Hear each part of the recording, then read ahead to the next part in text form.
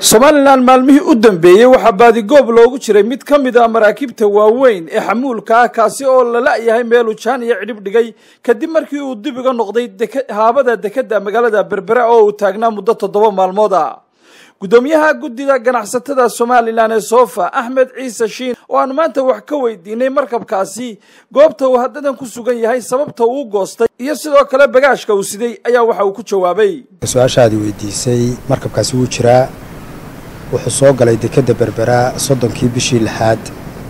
Ayuu soo galay haabada oo ankar ka dhigtay. Sida ay noo sheegeen board controlka dekedda berbera waxaa markabkaa ugu dambeysay oo ay waayeen signalkiisa shantii bishii toddobaad afartii subaxnimo.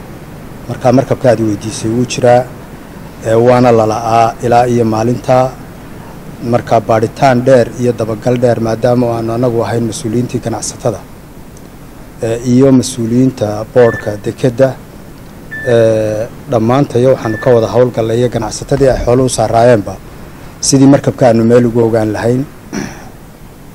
Markabkaa markaa muddo shan maalmooda ayaanu dabagal ku haynay ilaa iyo isniintii laga soo bilaabo oo ah maalintii aanu ogaanay oo warkiisuna soo gaadhay in markabkaa lala-yahay markabkaas sidaas weeye xaaladiisu iminkana waxaanu ogaanay waxaanu ogaanay oonu hadda soo xaqiijinay xalayto. Ilaa shalay galab aanu xaqiijinay inuu ku xidhay dekedii dubay oo dib ugu noqday. Halkaasaanu warkiisa ku ognahay iminka ugu dambeeyey.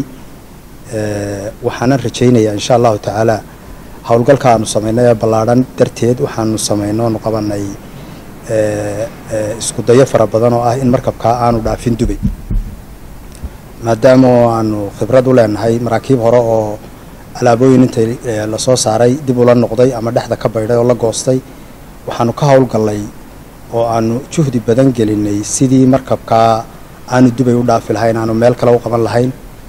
Maareeyaha dekedda iyo mas'uuliyiinta ay qusayso dhan baa nagala howlgalay qoraalkiina saaka ayaanu u dirnay dekeddii dubay iyo ganacsatadii soo rartay xaggaa ka soo rartay wakiilada noo ahayd. Markaa markabkaasi iminka wuxuu joogaa dubay sidoo kale mar aanu guddoomiye axmed ciise wax ka weydiinay sababta uu markabkani u goostay ee uu dib ugu noqday dubay oo uu hore uga yimi ayaa waxa uu kaga jawaabay iyadana. Marka hore waxaanu dadaalkayaga isugu geynay markabkaa inaanu ogaano meesha uu joogo. Locationkiisa inaanu ogaano ayaa afartaa maalmood ay nagu qaadatay laakiin still maanu ogaanin sababta saxa ah ama dhabta ah ee markabkaa dib u celisay sida caadigaa maraakiibta nooliga percentage ama seventy percent eighty percent baa la siin jiray.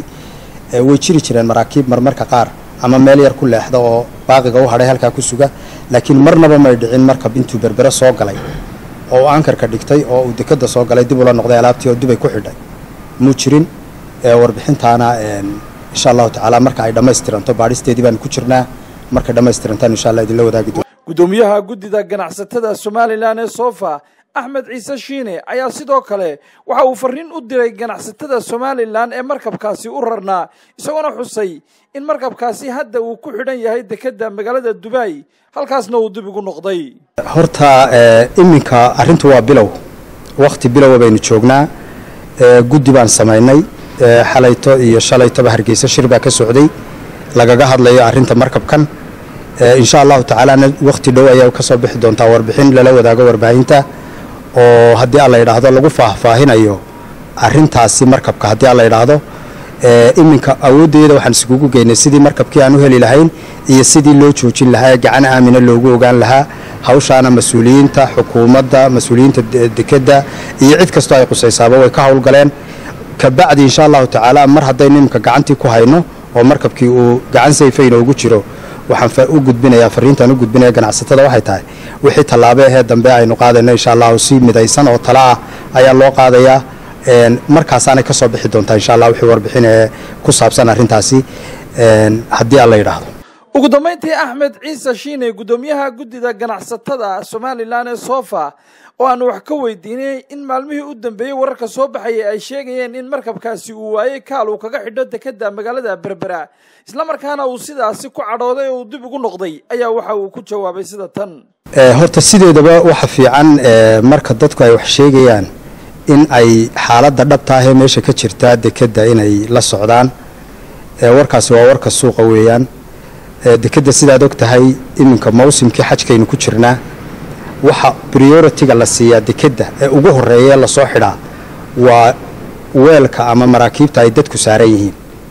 Second ka labaad ee la soo xidhaa waxa weeye waxa ama la xidhay la dhoofiya waa xoolaha.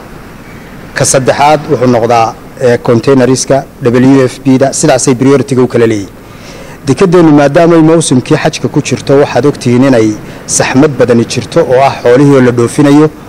Sidaa daraaddeed habeen walba intaasoo weelabaa la rarayaa. Dabadeedna awoodda waxaa la ysugu geeyay wakhtigan xaadirkaa sidii xooluhu u dhoofi lahaayeen oo ah lafdhabarta dhaqaalaha dalka. Markaa lama odhan karo kaal baa la waayey dekedda way shaqaynaysaa hours laakiin mawsimkii xajkaynu ku jirnay darteed ayaa maraakiib badan oo dee kaargoosido oo imboort ah dibadda loo dhigo prioritiga waxaa leh sida sharciga dekeda ku qoran xoolaha nool xoolaha noolina insha allahu tacaala. Saxmadaasaa jirta habeen dambe ilaa saa dambe waynaga dhammaanaysaa insha allahu wakhtigii xajku. Markaasi maraakiibtu si caadiya bay ugu soo xidhan doonaan. Muxuu ahaa dekedda shiftimadoodiina way geli doonaan oo markab waliba markabkii uu ka soo horreeyey ayuunbaa la soo xidhi doonaa. Laakiin sheekadaa suuqa ku jirtee ah waxaa lagu raagay ancorageka lagu raagay ama arrintaasi arrintaa waxba kama jiraan maxamed cabdilaahi soo fadhiistay star t v berbera. Hadal. Oo hadal. Oo hadal. Oo ku hadal.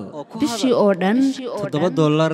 Oo keliya. Ku darso fariin kasta oo aad dirtaana waa kuu bilaash. Haddaba si aad ugu shubato adeega kaafiye fadlan garaac xidig siddeed eber siddeed afargees ama xidig laba eber laba afargees isticmaal shabakadda ugu ballaadhan geeyiga somalilan